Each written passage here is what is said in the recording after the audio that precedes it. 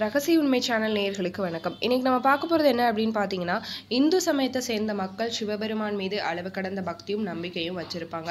சிவபெருமான் தன்னோட பக்தர்களால மகாதேவர் அல்லது பரமேஸ்வரர் இல்ல கடவுளுக்கும் கடவுள் அப்படின்னு சொல்லி அழைக்கப்படுறாரு. உண்மையான பக்தியுடனும் சுத்தமான எண்ணத்துடனும் சிவபெருமான ஒருத்தவங்க வழிபட்டா அவரை சிவபெருமான் ஆசீர்வதிப்பார்னு சொல்லி மக்களால நம்பப்படுது. அதனால தான் பக்தர்கள் சிவபெருமானுக்கு பலவிதமான காணிக்கைகளை வழங்கி அது மூலம் அவருடைய ஆசீர்வாதங்களை பெறாங்க பக்தர்கள் சிவபெருமானுக்கு எண்ணற்ற காணிக்கைகள் வழங்கினாலும் அவங்க சிவலிங்கத்திற்கு வழங்கும் கங்கை நதியின் நீர் மிகவும் உயர்ந்ததாக கருதப்படுது.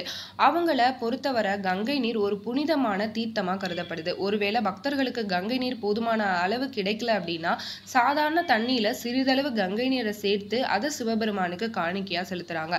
ஏன் பக்தர்கள் சாதாரண நீரை சிவபெருமானுக்கு காணிக்கையா வழங்காம கங்கை நீரை கொடுக்கறாங்க அப்படிங்கிறத பத்தி தான் இந்த பதிவில் நம்ம பார்க்க போறோம்.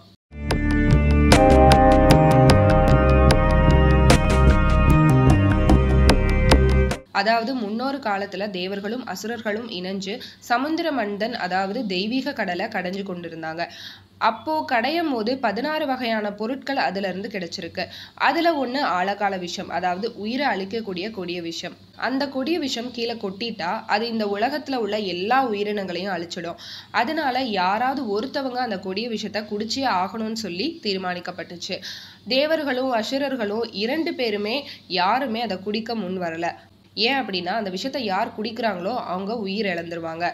இந்த நிலையில தேவர்களும் அசுரர்களும் இணைஞ்சு சிவபெருமானிடம் ஆலோசனை கேட்க போனாங்க. கொடிய விஷயத்தின் தாக்கத்தில் இருந்து தங்களை விடுவிக்குமாறு சிவபெருமான வேண்டியிருக்காங்க. உடனே சிவபெருமான் ஆழக்கால அப்படிங்கிற அந்த கொடிய விஷயத்தின் தன்மை அறிந்து அதை தானே குடிப்பதாக ஒத்துக்கொண்டாரு. கொடிய விஷத்தை குடிக்க தனது மனைவி பார்வதி தேவியோட கடலுக்கு சென்றார் சிவபெருமான். அதுக்கப்புறம் அந்த கொடிய விஷத்தை குடிச்சு தன்னோட தொண்டையிலேயே நிறுத்திக்கிட்டாரு.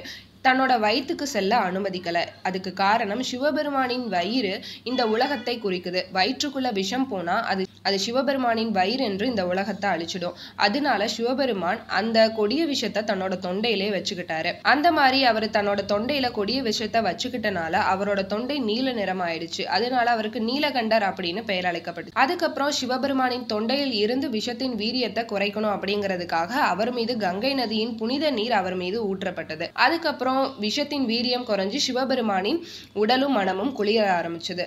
அதிலிருந்து சிவபெருமான் குளிர வைக்கும் பொருட்டு அவருடைய பக்தர்கள் கங்கை நீரை அவருக்கு காணிக்கையா வழங்கினாங்க. கங்கை நீர் ஒரு புனித நீராக இருக்கிறதுனால அது குணப்படுத்தும் தன்மை கொண்டிருக்கிறதுனால மற்றும் அது தெய்வீக குணம் நிரம்பி இருப்பதனால சிவபெருமானுக்கு கங்கை நீர் அதிகம் பிடிக்கும். ஏன் பக்தர்கள் சிவபெருமானுக்கு கங்கை நீரை காணிக்கையா செலுத்துறாங்கன்னு இப்போ உங்களுக்கு புரிஞ்சுக்கும் நான் நம்புறேன். ஸோ இதே மாதிரி இன்ட்ரெஸ்டிங்கான இன்ஃபர்மேஷன் நீங்க தெரிஞ்சுக்கணும்னு நினைச்சீங்கன்னா ரகசிய உண்மை சேனலை சப்ஸ்கிரைப் பண்ணாதவங்க சப்ஸ்கிரைப் பண்ணிடுங்க. பக்கத்துல இருக்க பெல் ஐக்கானை கிளிக் பண்ணிடுங்க.